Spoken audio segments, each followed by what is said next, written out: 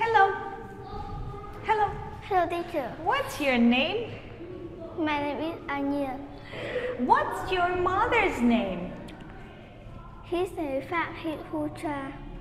Okay. Do you have any brothers or sisters? Yes, I do. Mhm. Brother or a sister? Brother or a sister? Brother or sister? Okay, do you have a sister? Yes, I do know it. Yes, I do. Okay, what's your sister's name? Her His, name? her name is uh, Bảo Vi. Okay. How many rooms are there in your house?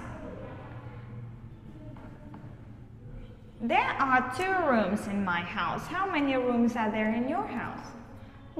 They, they are number they are number. Okay, one room. Good. Who is it? It's my. It's my grandfather. It's my grandmother. It's my mother. It's my father. It's my sister. It's my brother. Where's your grandma? She's in. In the. In the kitchen. Where's your grandpa? In the. In in the living room. Where's your mother? In the kitchen. Where's your father? In the bedroom. Where's your sister? In the bathroom.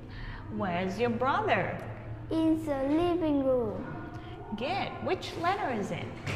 Letter. In the Which letter is it? Letter G. letter G. Mhm. G. G is for grandfather. G is for grandmother. Which letter is it? S.